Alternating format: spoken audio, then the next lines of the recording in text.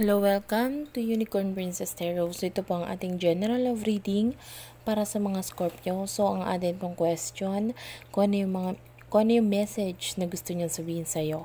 Take what resonates, hindi ito magre-resonate sa lahat. So, kunin mo lang yung mga messages na magre-resonate para sa'yo. Also, if you're a cross-watcher, pwede maging ikaw ito at hindi si Scorpio. So, bahala ka na iligay ang sarili mo sa sitwasyon. Pwede ito sa Scorpio or kung may Scorpio ka sa iyong natal chart, pwede ka rin makarelate dito. So, start na natin ang reading.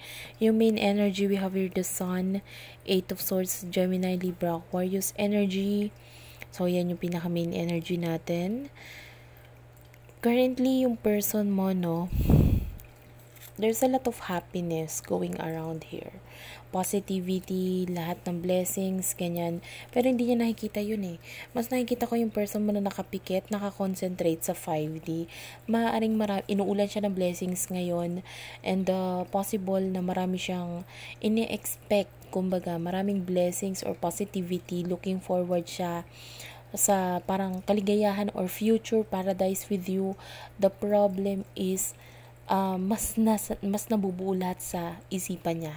Kasi maaring concentration concentrated siya sa sa dreams, ganon. So, maaaring alam niya na gusto niya ikaw, masaya siya sa'yo. The problem is, ayan o, Capricorn energy with the devil. Kaya lang some sort of an ending here.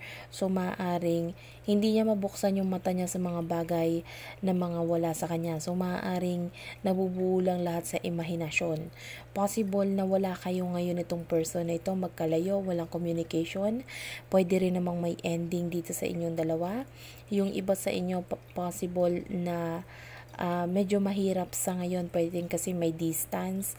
But for what I can see here yung person mo is like willing siya. Kung meron lang siyang time or meron lang siyang enough energy, enough courage, enough money para gawin yung pagkakalapit sa inyong dalawa, gagawin niya yon Kaya lang, dahil wala yung mga yon kumbaga, possible na nagkakaroon lang siya ng konting problems ngayon, oo, nandyan yung blessings, pero hindi sasapat yung mga blessings na inuulan siya ngayon ng blessings, ng positivity, ganyan. Pero parang kulang pa yon sa hinihiling niya or kailangan niya para tuluyang mapalapit sa'yo, no? And we have here the moon. So, nakikita natin dito na talagang, yeah, that is a major arcana. I'm seeing a synchronized number 10, 10, 10. 10, 10, yung mga ganyan. Yung iba sa inyo, 5. But I'm seeing a lot of 10. So, pwedeng may ending na nangyari dito. And also, some sort of awakening with a uh, judgment So, maaaring yung person mo, nagigising siya sa connection ninyong dalawa. Parang alam niya kung ano yung dapat niyang gawin, which is to go to you or pumunta sa'yo. Kaya lang, or vice versa. Pwedeng ikaw to na gusto mo lumapit or pumunta sa kanya.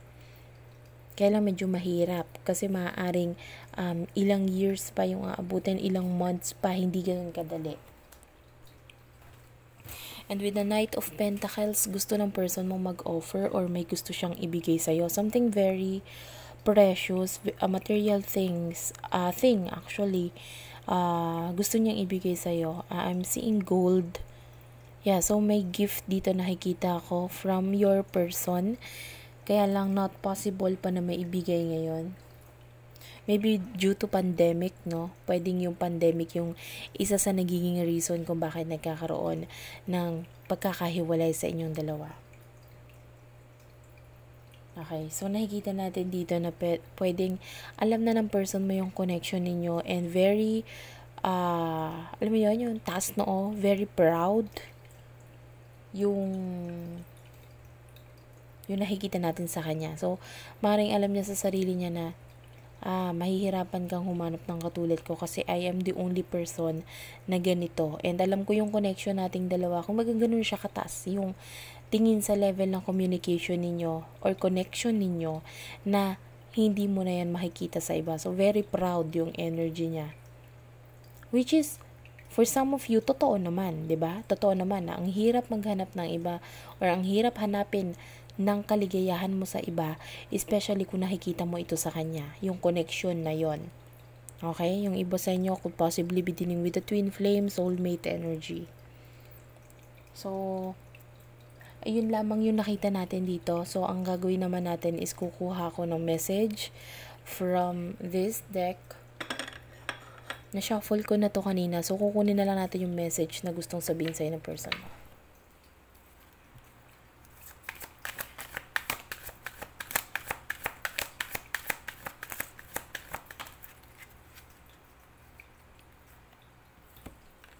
Okay.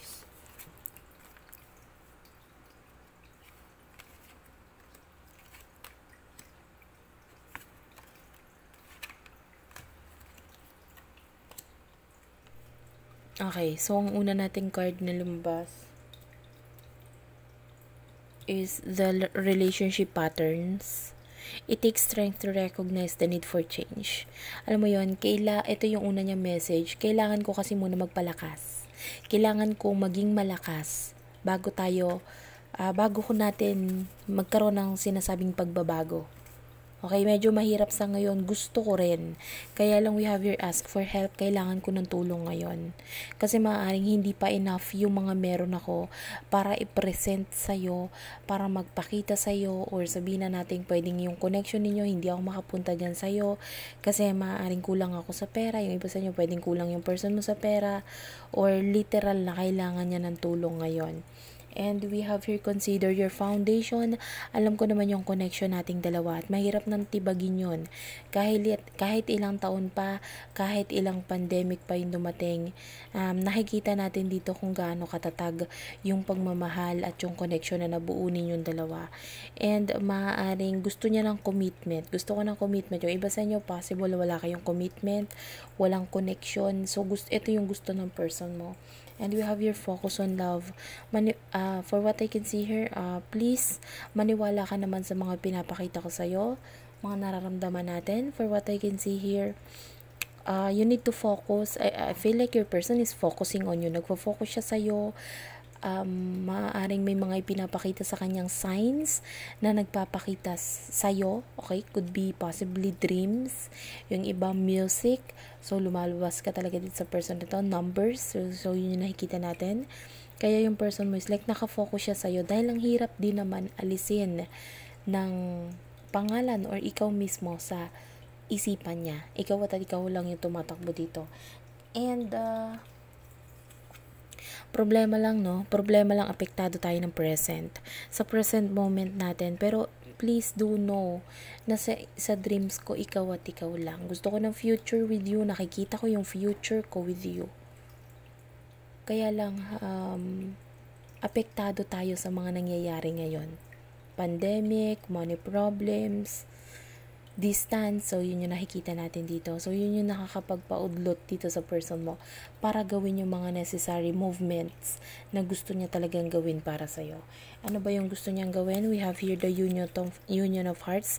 Gusto niya makita, gusto niya magkaroon na, yung, kung wala kayong connection, connection, love, and uh, pinakamaganda niyan yung reconciliation, pagtatagpo, pagbabalik, at uh, gusto niya this time around kung magkakaroon man magkakaroon man ng pagkakataon na magkasama kayo, masabi niya kung ano yung totoo, yung totoong sinisigaw ng puso at isipan niya, yung totoong um, nararamdaman niya para sa'yo.